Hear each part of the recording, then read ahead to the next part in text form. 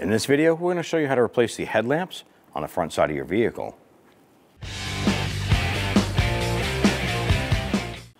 Now on the bottom side here, right on the base of our wheel well area on the passenger side, there's going to be some plastic buttons here holding our lower splash guard to the fender liner. We're going to use our trim tool. I'm just going to go up in here and we're just going to pop off the little buttons that are in here holding these together. Ours don't all match, so it looks like someone was already in here playing with these before. We're actually missing a button over here, and we have a zip tie there, or some sort of anchoring strap. We're gonna go ahead and pop that off, remove that, and let's go ahead and do the same for the driver's side. Okay, pop these buttons out here.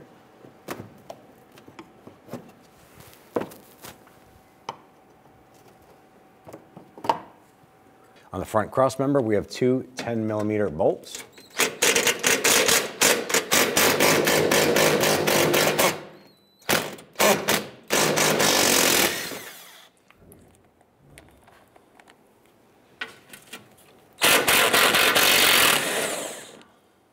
Across the lower front portion of the bumper, there's a series of seven millimeter screws. Let's get loosen and remove these.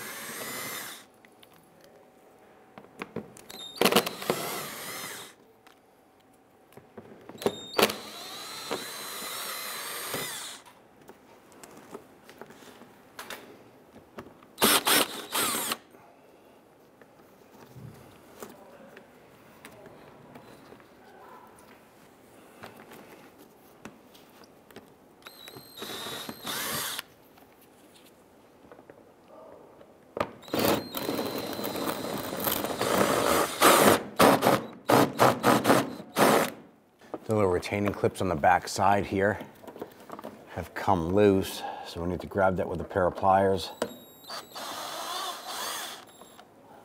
And go ahead and remove those there.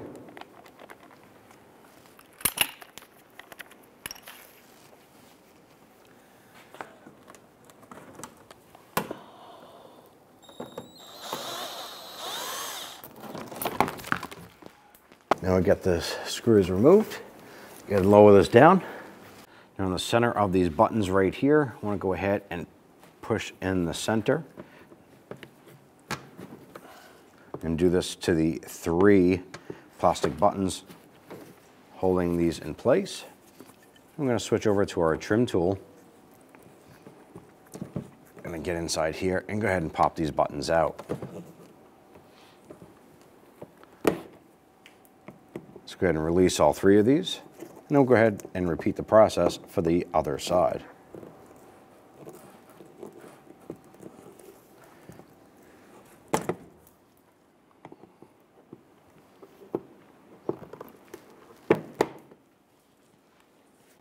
Now you want to go ahead and peel back your fender liner and right up inside here there's going to be a single 10 millimeter bolt.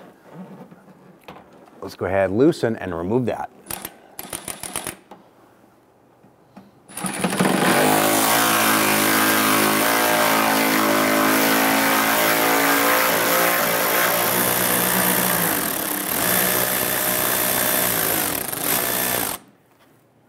Repeat for the passenger side. On the bottom side here, I want to go ahead and disconnect your fog lights. I'm going to turn these counterclockwise, pop out that light.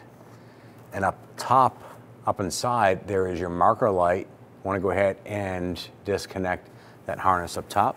Now right here on the back side of our bumper edge here, there's going to be a second bolt that we want to get to. It's also a 10 millimeter, so we're going to go ahead and use a long extension, put our socket on there, I'm gonna go ahead and remove this bolt. Once this is out, we're gonna repeat it for the passenger side. All right, so now we have this bolt loose. Go ahead and remove this. Let's go ahead and pop out our little filler panels right here.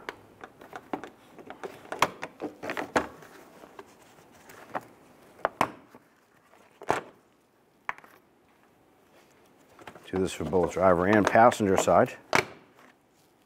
Go ahead set those aside.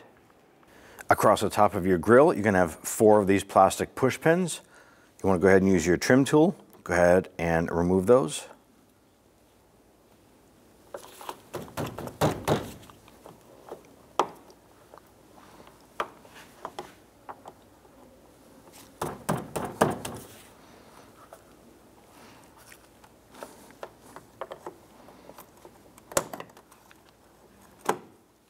Repeat for the other three.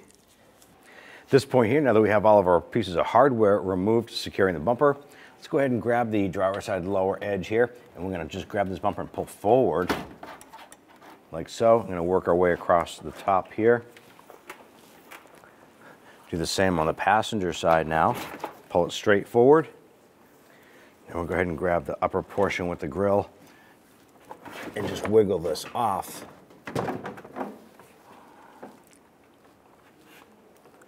And set that down. Now on the passenger side, right below the headlamp and behind the impact beam here, there's a connector here. And this connector goes to all of the wires and the harness that goes to all of your bumper lights. What we want to do is disconnect this harness so we can go ahead and continue to separate the bumper from the vehicle. So I'm going to go ahead and use a pocket screwdriver and you want to go ahead and just pry this a little bit here, disconnect that harness. Now we have that harness disconnected, we can remove the entire bumper. We want to go ahead and use our 8 millimeter socket. We want to go ahead and remove the three screws. There's one on the bottom, two on the top.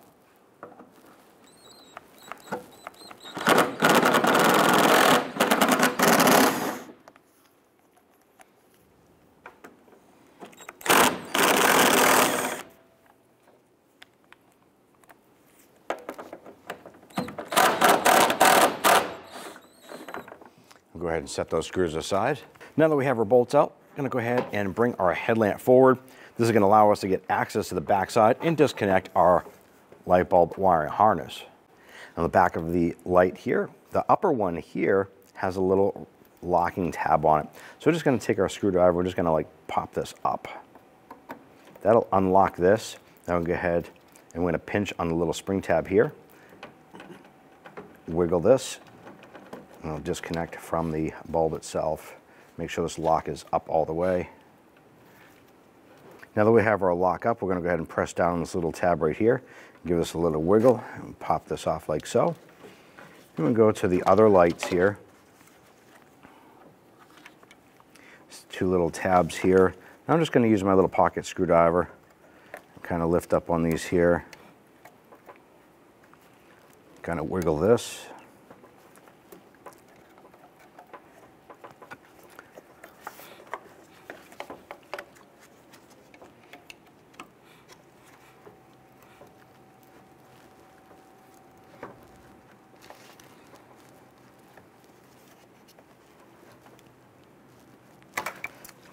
pop that harness off. And this one here, I'm gonna go ahead and do the same. And go ahead and remove our headlamp assembly.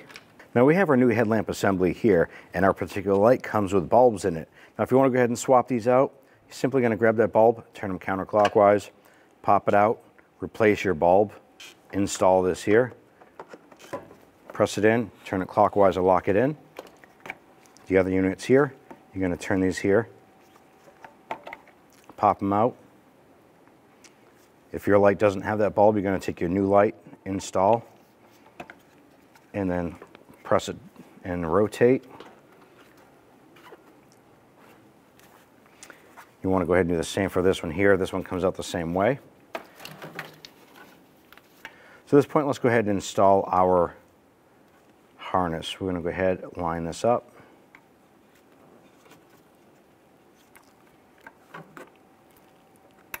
Press it up, lock it in. Do the same over here. Line it up.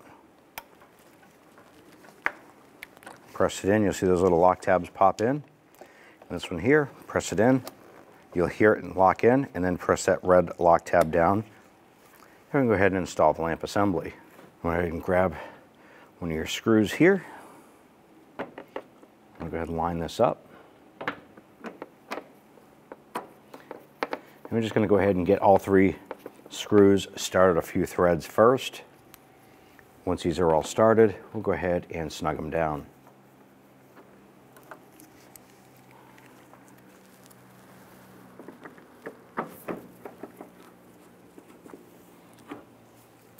All right, so go ahead and snug that down.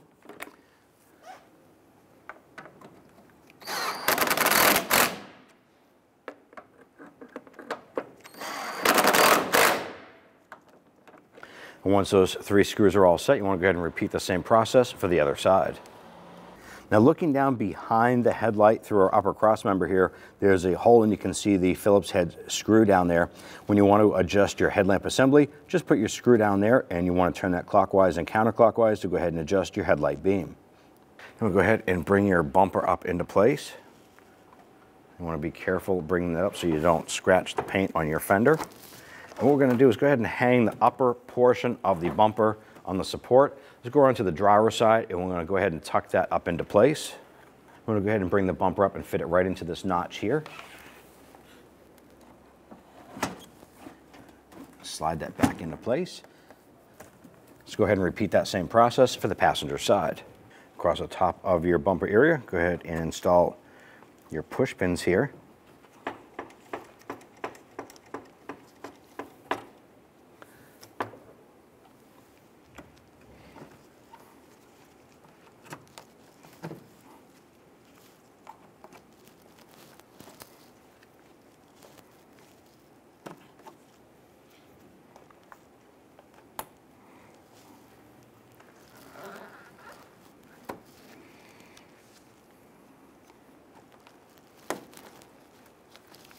Want to go ahead and install our filler panels right here. If you notice there's a little tab right here and that will actually interlock with this base here once we assemble it.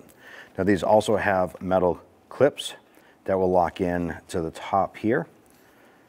So we want to go ahead and set these down into place. I'm going to interlock the center piece right now, make it a little bit easier.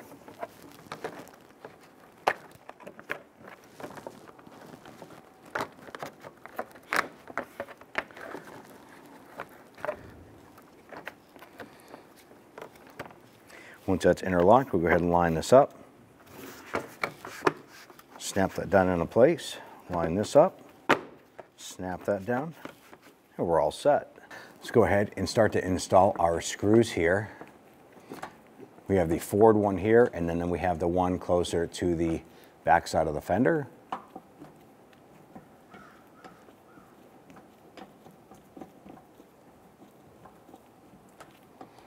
And get that started. Let's go ahead and get the other one in.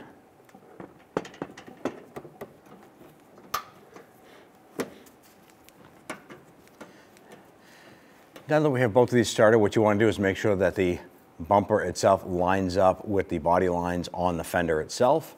Then we'll go ahead and snug those down. Once those are tight, we'll go ahead and repeat this process for the other side.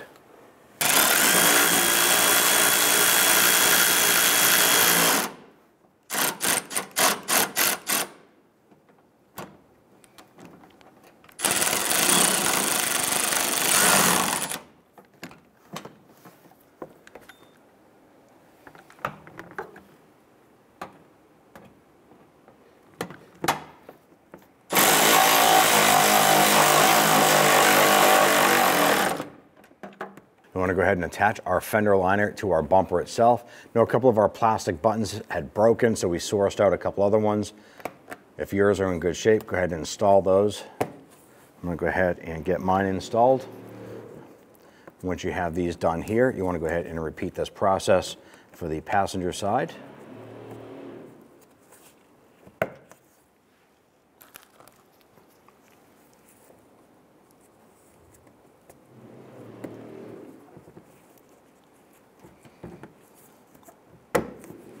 Now let's go ahead and take our wiring harness from our front bumper and let's bring it up and we're going to connect that into the body harness here. Press that up, you can feel in here it lock into place. Let's go ahead and put our under engine splash shield up and in.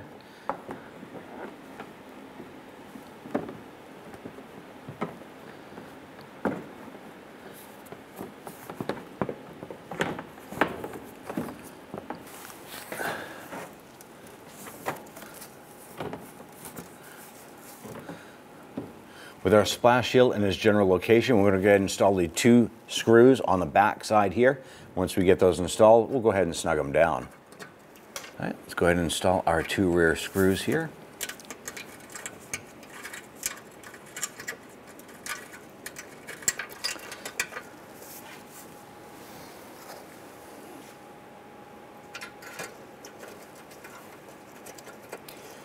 All right, once we have these two caught, let's go ahead and snug those down.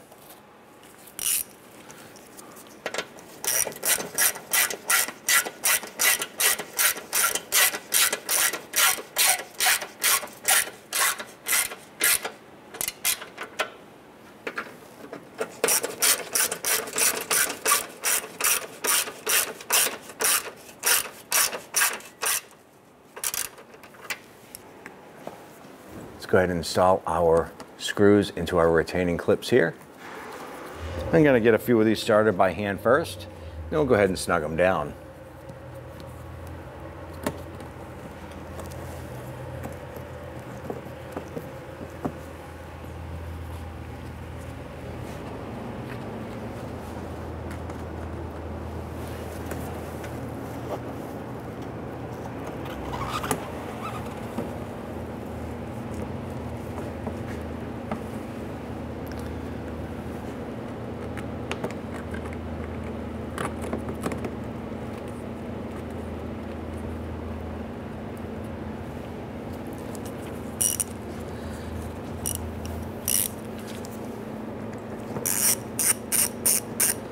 Go ahead and start snugging these down.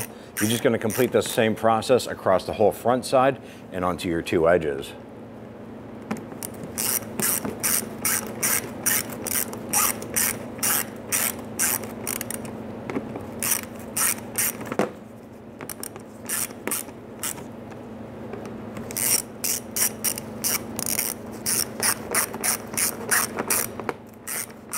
You just want to snug those. Once you feel them stop, then it's pretty much maxed out. And just continue for the rest of these. Now I'm to go ahead and install the three plastic push pins on the driver's side.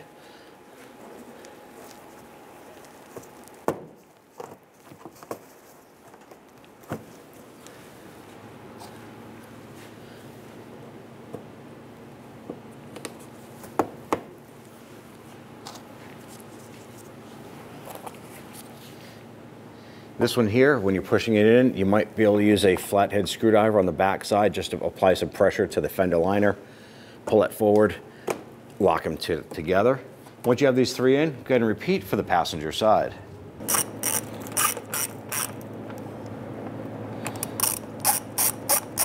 And we'll get these two in here.